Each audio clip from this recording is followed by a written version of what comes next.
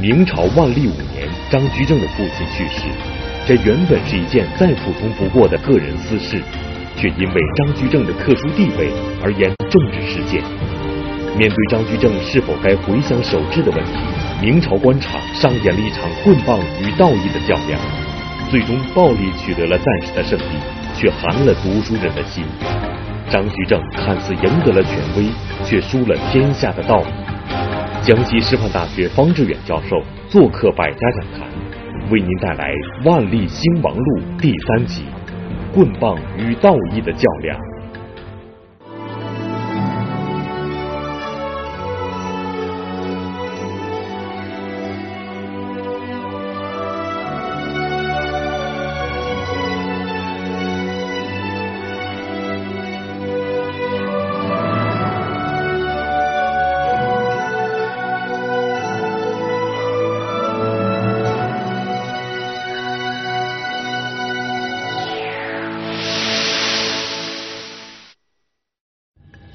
张居正是明朝中后期最著名的内阁大学士，被誉为明朝第一名相。张居正在位期间，励精图治，大胆改革，几乎凭一己之力把明朝重新推向鼎盛。但在此过程中，张居正的个人意识也在逐渐膨胀，他对万历朝政局的控制也达到了顶点，于是有了独断擅权之嫌。一位名叫刘台的官员上书弹劾。希望张居正能改弦易辙，做道德的楷模。然而刘台却被万历皇帝充军发配。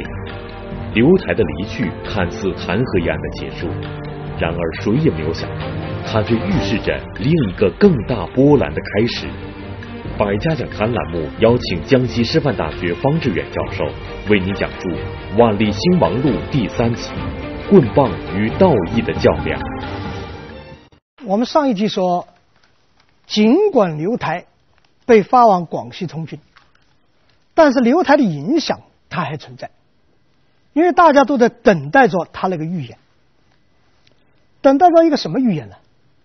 如果说出来这个预言，应该说所有的人又都会为这个预言感到觉得这个预言太不近人情，觉得这个预言太过分，但是大家又都期待着这个预言。因为看中公众人物的笑话，等着看有权有势人的笑话，乃是一般大众的普遍心理。古今中外几乎概莫概不如此。那么等待一个什么笑话呢？期待一个什么预言呢？这个刘台在奏书上说：张居正之所以破坏组织，引进诗人进入内阁，所谓的这个诗人叫做张世维。他说：“引进他进入内阁，这是一件非常蹊跷的事情。怎么个蹊跷？因为这个张世维在翰林院做学士的时候，就因为人品不好，受到严国的弹劾。张居正不是不知道，但是他仍然要把他引进内阁，这就是蹊跷。原因是什么呢？原因是张居正的父亲年事已高，说不定哪一天就一命呜呼。”就贺驾西归。那么，如果这个时候有张世维在内阁，这个张世维这个人虽然人品不好，但是他也有优点。什么优点？善于权变，脑子比较灵。由他在内阁来帮助张居正早一点从家乡返回到朝廷来，因为张居正父亲死了嘛，他就要去盯监，就要守制，就要去奔丧。有张世维在那不是很好吗？可以帮他。早一点回来，所以刘台说这就是一件蹊跷的事情，请皇上注意，这个张居正办什么事情，他都是深谋远虑，但是这件事，他这个深谋远虑不是为了国家，而是为了他个人，所以天下人都要对他提高警惕。我们甚至可以说，张居正可能就是因为这一段话被记录了。正是因为这一段话，所以使张居正在杨巨书就以后，还要暗中下阴招、下损招，要让这个刘台家破人亡。晚明的时候，有一个著名的文化人，一个名儒，叫做陈继儒。这个陈继儒啊，他经常提醒自己，也告诫他的朋友和他的学生。怎么告诫？说是聪明人要学会厚道，富贵人要学会宽容。如果我们把这个告诫对照起刘台弹劾张居正，而张居正处置刘台的这件事，几乎就是针对他们说的。人聪明很好，但是也有问题，因为聪明人老往坏处去想别人，老往别人的灵魂深处闹革命，把人往坏处去想。就拿刘台来说，你批评了人家的儿子就算了，你干嘛还要把老子拎出来？说人家的老子死了以后，张居正会如何如何，让全国人民都等着看张居正的笑话。你这不是太损了吗？太刻薄了吗？所以聪明人他要学会厚道，但是从张居正来说，你也太不宽容。你已经做到首辅了，你已经做到柱国了，什么样的荣誉你都得到了，你干嘛跟这一个御史较劲？你如果不较劲，这个御史的弹劾可能就是一个小小的插曲。你如果一较劲，大家看热闹。大家都等着看你的笑话，但世界上的事也有意思。你怕什么，他就来什么。应该说，刘台的预言还犹在耳畔，但是张居正的父亲还真的就死了。这个时候，张居正的父亲是七十四岁。实际上，对于张居正来说，父亲的去世，他应该是有心理准备的，因为这些年父亲身体一直不好。过去是说。人过七十古来稀，比现在的寿命也赶短得多。七十多岁的老人什么时候走很正常。那么在这个时候，万历皇帝也知道张居正父亲死去的讣告，所以万历皇帝下了一道很有人情味的诏谕，让张居正要节哀，要保重身体。说父亲已经这么大岁数了，人走不可复生，你自己要保重。现在国家是靠你的。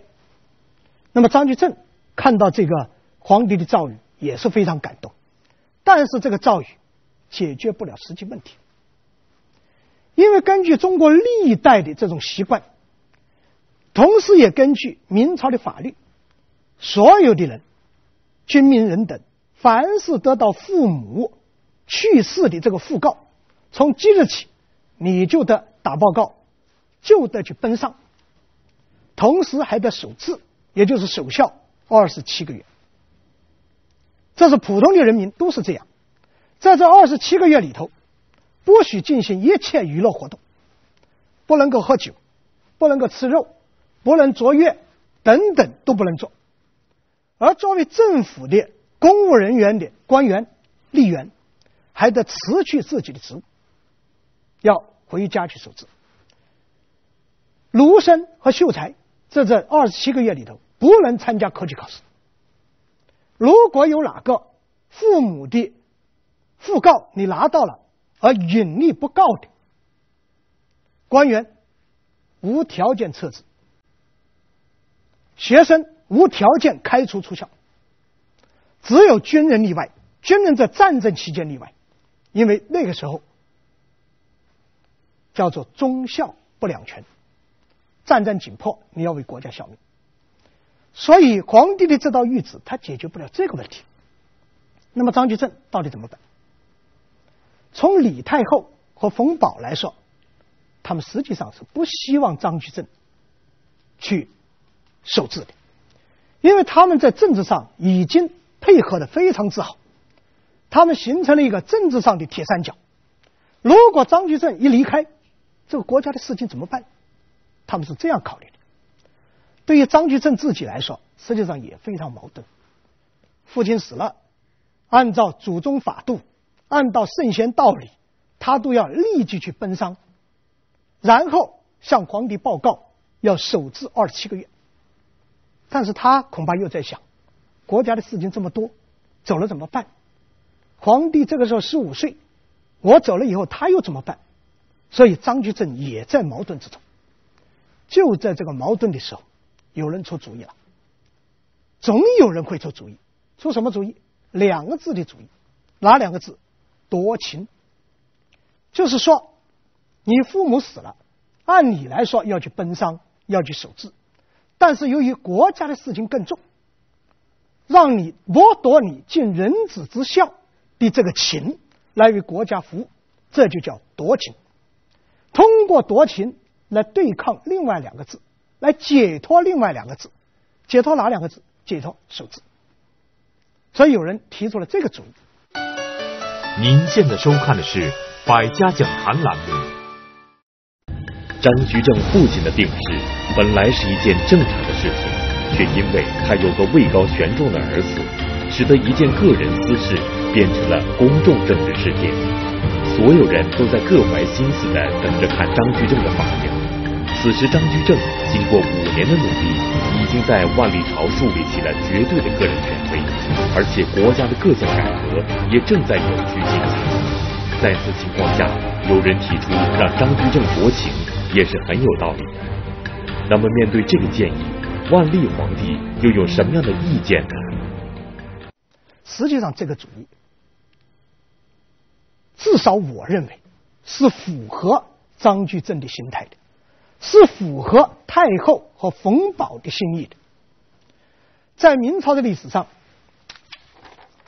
大学士的夺情有过几次，但是那都是久远的祖宗时候的事情。特别是首辅的夺情，在我所看到的明史里头，只发生过一次。这一次也是发生在一百多年之前，成化年间。成化初期有一个大学士。叫李贤，他父亲死了，奔丧以后，成化皇帝夺他的情，让他到朝廷继续逝世。他回来了，回来了以后，有一个新科状元，叫做罗伦。我又要说到这个罗伦的籍贯，又是来自于江西吉安府永丰县。这个罗伦就提出不能夺情，这是千古纲常的大事，怎么能够夺情呢？所以他就先见他的老师，因为他是状元。明朝科举考试的规矩，状元的这一份卷子是首辅读的。那么你是他的嫡系的门生，所以罗伦去见他的老师，说希望他的老师继续回去中制，继续去守制。但是这个李贤不以为然，他说：“这个夺情不是我个人的意见，是朝廷的意志。”你有意见向朝廷提，别跟我说。罗伦一看这老师不买他的账，结果就打了一份报告，弹劾李贤的夺情，在当时引起了轩然大波。一个新科状元弹劾首辅，这在明朝历史上没有发生过的事情。结果这个罗伦被贬谪到福建泉州做四伯副使，薪水极其之低，当时没办法。怎么靠怎么养家活口？靠帮别人写书信来养家活口。一年之后，李贤去世了。李坚去世，国家也没有发生什么大的震撼，所以这样一来，这个夺情就变成李贤一生里面的一个政治污点。从此以后，明朝没有哪个大学士，没有哪个首辅敢于重提夺情的。所以张居正的这个夺情是在这么一种背景之下，历史可能重演。那么张居正他自己，他作为当事人，他有一个态度啊。但是张居正的态度很暧昧，怎么暧昧啊？他向吏部交了一份报告，请求守制。但是傻子也知道，你张先生、张首府、张阁老的这个辞职报告是吏部敢批的嘛？吏部敢批你的辞职报告吗？你是可以直接通天的嘛？你的任何事情都是太后做主的，都是皇上做主的。你按照一般官员的程序向吏部提出辞呈，这有问题。所以大家就觉得张居正这个态度比较暧昧。万历皇帝看到吏部上的奏书，说张先生要提出首字，于是。万历皇帝给了一个赐语，下到吏部。呃，这个赐语是这样写的：说，朕元府受皇考附托，辅政右冲，安定社稷，朕深切以赖，岂可一日离政？父志当守，君父尤重，准过其期不随朝。你不理既往欲重，不必据此钦此。这是万历皇帝给吏部的一道旨意。那么这道旨谕到底是万历皇帝自己的意思，还是冯保的意思，还是太后的意思？这个没有考究。但是至少从万历皇帝来说，他这个时候已经十五岁了，也许他心里还真想自己来管理管理国家。因为在这个时候，国家的事情跟他没什么事，内事冯保做主，外事张居正做主，他自己没事可干。这三个人，太后一个，冯保一个，张居正一个，可以说是他的三尊保护神。但是，当他希望要管事的时候，他就会逐渐发现，这三尊保护神。原来是压在他头上的三座大山，是使他长不大的三座大山。我们以后要说，他一定要推翻这三座大山。但是在这个时候，他还比较犹豫。怎么犹豫呢？母后，他当然是希望张居正夺情，冯保也希望他夺情。如果自己坚持不夺情，这个国家治理的好还是治理不好？所以他有犹豫。就在他这个犹豫，让张居正夺情，但是心里又充满矛盾的时候，张居正正式向他打报告，要求受制。但是张居正的这个报告态度仍然是十分的暧昧，这好像不是一份辞职报告，倒像是一份决心书，一份什么决心书？表示时刻听从朝廷召唤的这么一份决心书。他这里面说的很清楚，父亲死了，儿子守制，这是人之常情。但是，干大事者以君父为重。如果万一朝廷需要，我也可以不顾这些小节，而要做这个大义。什么叫做大义？继续工作，这就是大义。去奔丧，去守制，这就是小节。哎，他这么一种态度，我们甚至可以推测。正是张居正的这一个表面上的辞职报告，实际上的一个决心书，引导和推动着万历皇帝下决心让他夺权。这就有点像我们日常生活里头一样，家里来了客人，主人未必做好了留饭的准备，但是客人要告辞的时候，主人总要说：“哎呀，你吃了饭再走。”客人一边告辞一边说。饭就不吃了吧，省得过于麻烦。那么话说到这种地步，主人一定要说不麻烦，你留下来吃饭就是我们的荣誉。那么客人顺水推舟，他就说：“既然你这么盛情，我不留下来也太不给面子了。”于是就留下来了。所以世界上很多不太合乎道理的事情，就是在这种客客气气和半推半就中它产生的。张居正。由半推半就，最后到不能不多情了。万历皇帝由客客气气，到最后不能不挽留了。所以事情就发生到这个地步。您现在收看的是《百家讲坛》栏目。不管万历皇帝内心是否真的愿意，张居正是如愿以偿的留了下来。不能说张居正对父亲没有孝心。只是此时，他对权力的欲望压倒了一切。也许是因为他要为国家继续做贡献的欲望压倒了一切，但这种欲望将会带来灾难性的影响。那么，面对张居正的夺情，朝中大臣们又是什么样的反应？因为到了隆庆万历，甚至更长一点时间开始，明朝的事情就不是皇帝，更不是首辅说了就算的，尤其是这种。关于伦理方面的事情，发表意见的人可以非常之多，很多人可以发表意见。当时的大臣们当时的文官们对于张居正是否夺情，就存在着两种声音、两种意见。第一种意见认为，国家现在需要首辅，张居正不能走，你应该继续为国家做贡献。但是这种声音越来越微弱，在开始的时候是占有主导地位，但是越来越微弱。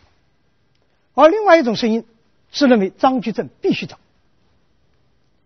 这是圣贤的道理，是祖宗的法度，是一个做人子人臣的人必须遵守的道德。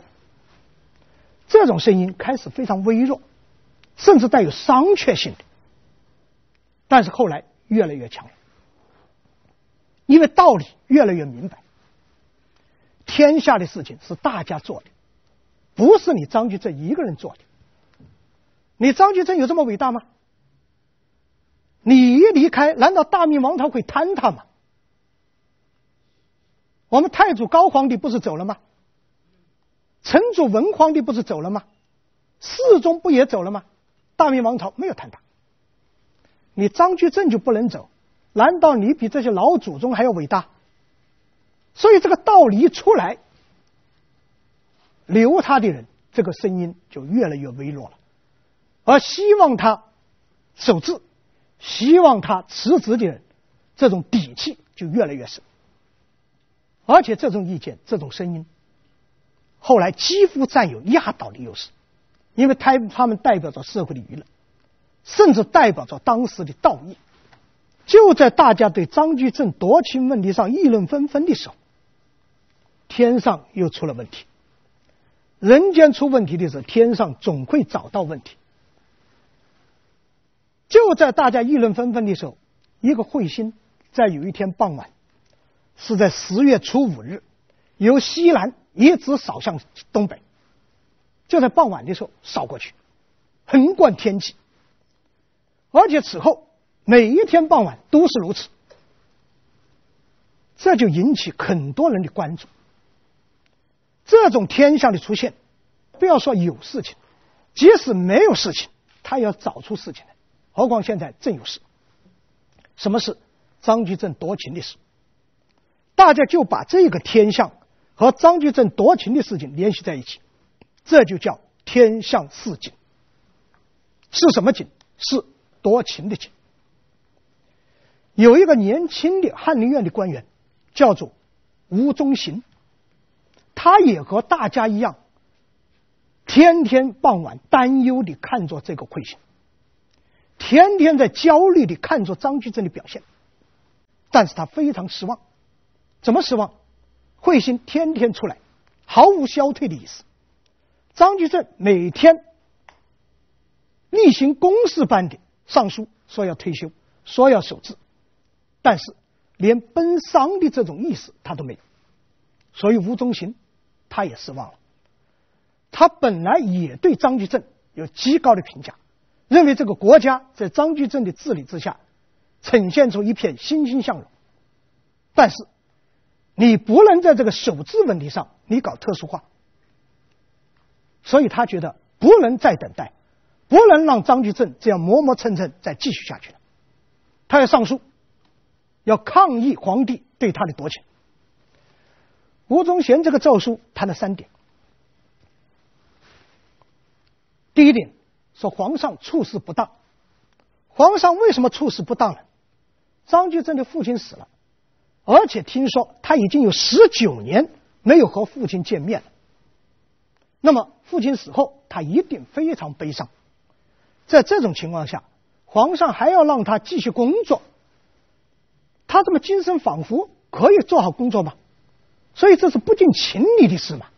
你看看他说的非常合情合理。第二。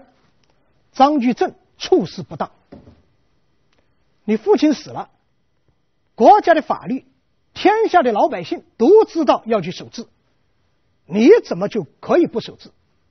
还态度这么暧昧，你这个父子之情到哪里去了？第三，提出八个字，哪八个字？这是涉及到万古纲常，四方视听。万古纲常，四方视听。这是涉及到伦理纲常的问题，我不能不变。张居正只有做好表率，朝廷只有把这个事情处理好，处理好，才可能为天下老百姓树立一种法律的典范。要不然，伦理纲常全部丧失，这个国家将不是国家了。所以他提的非常尖锐。皇帝还来不及处置，就在吴忠行上书的第二天，又一个翰林院的官员叫做赵用贤。这个赵用贤也上书了。第三天，刑部的两个官员，一个叫安牧，一个叫做沈思孝，也上书了。上书干什么？只有一个内容：声援吴忠行，要求张居正立即奔丧，立即受赐。您现在收看的是《百家讲坛》栏目。明朝以儒家忠孝思想为立国之本。君臣父子，纲举目张，而张居正身为文官领袖，却在孝字上输了道义。如果张居正输了道义，又怎能做天下读书人的楷模呢？所以，抗议张居正的声音越来越强烈。那么，事情将会如何发展？这一切又给明朝的政局带来了怎样的影响？说到这里，我们要说一说他们的身份。这个吴忠行，这个赵用贤，他们两个都是和刘台一样，隆庆五年的进士，是张居正的学生。这个刑部的哀牧，是张居正的老乡，老家在现在湖南的平江，当时是湖广省。而且吴宗行和赵用贤还是翰林院的史官，都留作书记室。留在翰林院都是储相，又是学生，又是老乡，又是储相，大家都来批评张居正一个事情，夺情的事情。这个待遇在明朝历史上很少有人享受。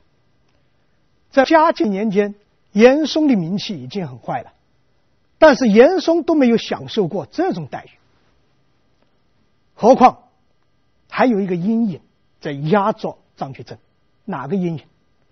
刘台在一年零八个月之前提出的那样一个预言，你到底是夺情还是不夺情？因为刘台上书是在万历四年的正月，而张居正父亲的去世是在万历五年的九月，一年零八个月。所以，张居正一方面有一个巨大的阴影压在这里，一方面又一次感到非常的委屈。自己为国家做那么多的贡献，他老想着这个事，怎么这么多的人提出批评、提出意见？那么，张居正这样一个想法，万历皇帝，特别是李太后冯保，肯定也有同样的想法。于是圣旨下来了，对吴忠行、对赵用贤、对哀牧。对沈世孝四人实施停杖，动不动就是停杖，每个人六十到八十不等。所以明朝又出现新的问题了。实际上老问题的重演，又一次要用棍棒来解决道义上的问题，又一次由摆事实、说道理的这种文斗，要转向武斗了。这个问题就严重，因为谁都不可，谁都不愿意看到这种事情的发生，因为一旦发生，可能出人命了，而且对张居正更加不利。因此，翰林院的官员纷纷行动起来，全体出动，六部的官员也行动起来。他们行动起来干什么？向皇帝上书，要求赦免这四个人，同时找张居正，因为解铃还要系铃人。皇上盛怒，只有你张居正为他们求情，才有可能能够得到赦免。但是张居正不予理睬，皇帝也不予理睬，事情没有任何回旋的余地。万历五年十月二十二日，吴忠兴等四人照常被拖到午门之外，实施廷杖。监刑的仍然是司礼监的太监，行刑的是锦衣卫的校尉。都是打人的行家里手，就像每一次实施廷杖一样，午门之外那是打声震天，喊声动地，血肉横飞，惨不忍睹。这四个人被打得奄奄一息。就在这个时候，有一个人，他目睹了这个行刑的全部过程，眼看着世人被打得血肉模糊，被拖入宫门。这一位目睹了这个过程的是一个年轻人，他转身来到了会稽门，掏出了一个本本，交给在会稽门值班的文书皇帝文书房的宦官。说这是我的请假文书，请你交给皇上，请皇上批准。结果这个请假报告一到万历皇帝手上，一放到内阁票仪，要批准嘛？大家一看，傻眼了，这哪里是什么辞职报告，又是一份抗议书。原来这个年轻人是怀中揣着这份抗议书，目睹了世人的受刑。然后还义无反顾来到会稽门，把自己这个奏书递上去。这个年轻人，我建议大家记住他的名字，他的名字叫周元彪。在这个时候，他上书提出抗议，抗议对反对张居正夺情的侍卫实施廷杖，反对朝廷对张居正夺情。四十年以后。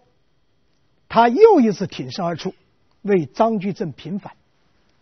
这个人叫周元彪，他和刘台一样，也是来自于江西的吉安府。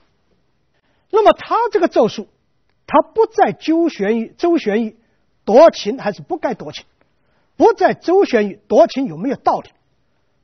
他对万历皇帝和张居正直接进行指责，指责什么？认为万历皇帝没有志气。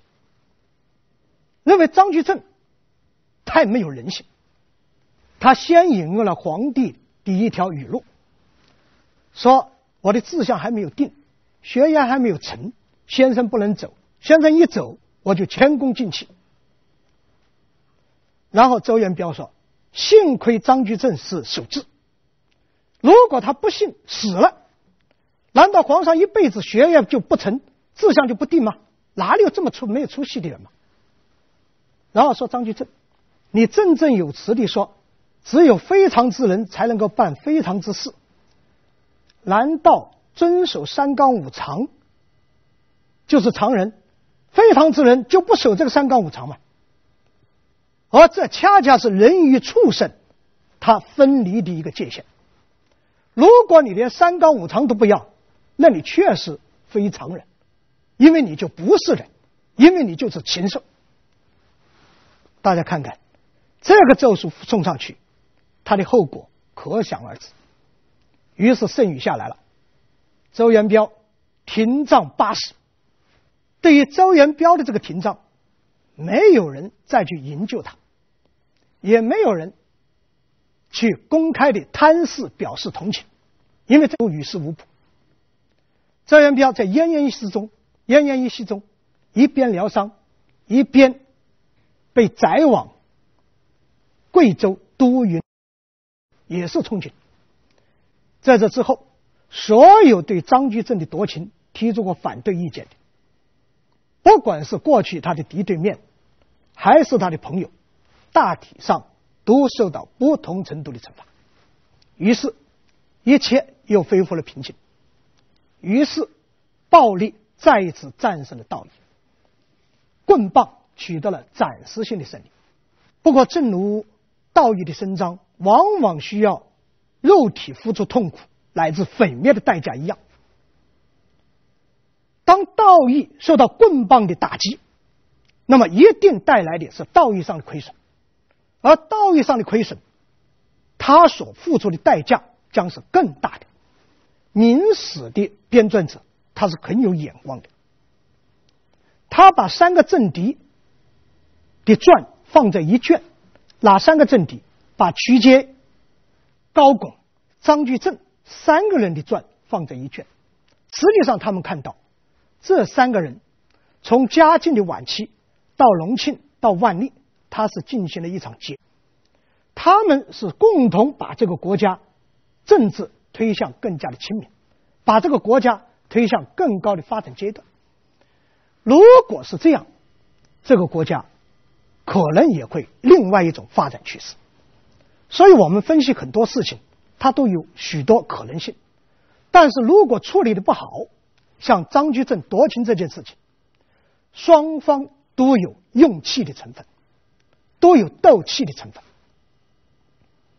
从吴宗宪、赵永贤、哀慕、沈思孝，直到周元彪，如果采取更好一些的办法来探讨道理，如果张居正，特别是张居正要说服冯保、说服李太后、说服万历皇帝，要很好的、妥善的来对待批评意见，可能事情也会向比较好的方面发展。但是。非常糟糕的都不是，大家都在斗气，大家都在意气用事。以后我们还要经常谈到这个意气用事，它将给万历的政局、给明朝的历史带来重大的挫折和损失。那么，由于张居正夺情而引发起来的这么一场争论，引发出来的用棍棒解决道义的问题，那就埋下了一个更大的，埋下了以后。重提张居正的夺情事件，埋下了万历皇帝对张居正的种种清算。这样一来，明朝的政局他就要经受更大的政治波澜。那么他怎么经受这场波澜？我们下一次再说。谢谢。张居正不仅是明朝最能干的忠臣，也是万历皇帝最负责任的老师。但十余年的苦心，却换来了失败的教训。君臣之间的关系由爱变怕，由怕及恨，由恨导致了万历皇帝对张居正种种的报复。了却君王天下事，寂寞身前身后事。张居正是非自有后人评。江西师范大学方志远教授做客百家讲坛，为您带来《万历兴亡录》第四集：是非张居正。